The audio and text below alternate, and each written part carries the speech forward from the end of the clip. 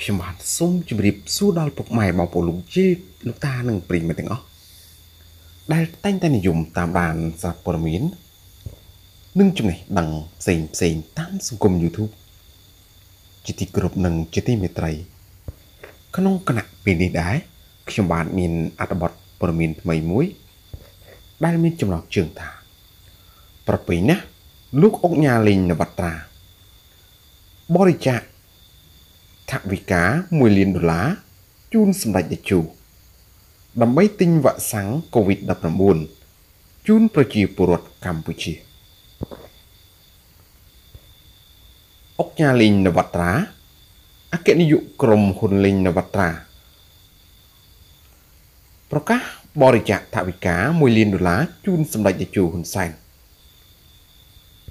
នាយករដ្ឋមន្ត្រីកម្ពុជាដើម្បីទិញវ៉ាក់សាំង COVID-19 ការប្រកាសរបស់អង្គការលេងនវត្រាបានធ្វើឡើងភ្លាមភ្លាមបន្ទាប់ពីសម្ដេចតេជោហ៊ុនសែនប្រកាសពីការត្រៀមថវិកាទិញវ៉ាក់សាំង COVID-19 មកចាក់ជូនប្រជាពលរដ្ឋដោយឥតគិតថ្លៃ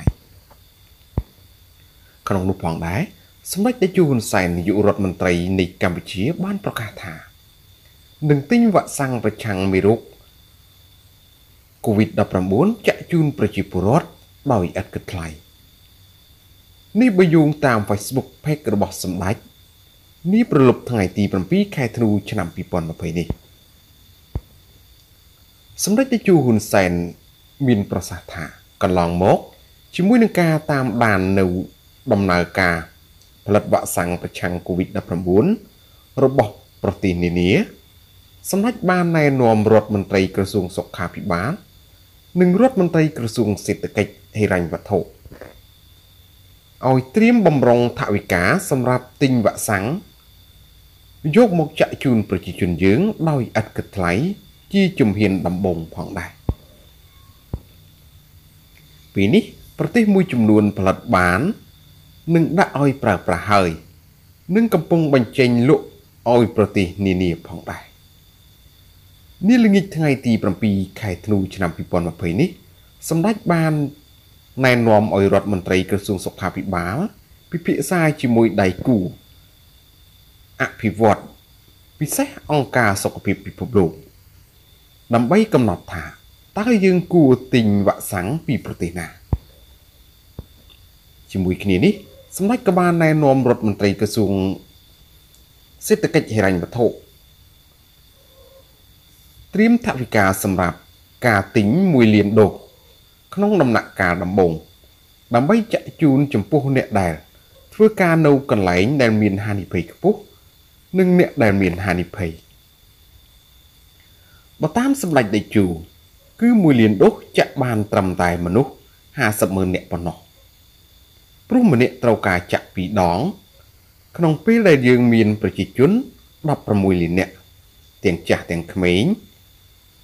ដែលក្នុងនោះ អាចមានមនុស្សប្រមាណ10លាននាក់ត្រូវការវ៉ាក់សាំងសម្ដេចមានប្រសាសន៍ទៀតថាក្នុងស្ថានភាពដែលប្រទេសយើង នៅក្រខ្វះថវិកាសម្រាប់ទិញបន្ថែមនោះសម្ដេចបានណែនាំរដ្ឋមន្ត្រីពីររូបឲ្យពិភាក្សាជាមួយដៃគូអភិវឌ្ឍទាំងទ្វីភាគីទាំងពហុភាគី ដើម្បីស្វែងរកជំនួយបន្ថែម មកជួយដល់ប្រជាជនយើងសម្ដេចសង្ឃឹមថាដៃគូអភិវឌ្ឍរបស់យើងនឹងផ្ដល់ជំនួយដល់ប្រជាជនយើង ឬយ៉ាងហោចលក់ក្នុងតម្លៃថោកសមរម្យឲ្យយើង ដោយសម្ដេចក៏បានណែនាំរដ្ឋមន្ត្រីក្រសួងសេដ្ឋកិច្ចហិរញ្ញវត្ថុត្រៀមថវិកាសម្រាប់ទិញ2ទៅ3លានដូសថែមទៀតផង សម្រាប់ដំណាក់កាលបន្ទាប់បាទហើយអត្ថបទព័ត៌មាននៃខ្ញុំបាទបានជម្រាបជូនខាងលើនេះក៏មានតែប៉ុណ្ណឹងសូមអរគុណសូមជម្រាបលា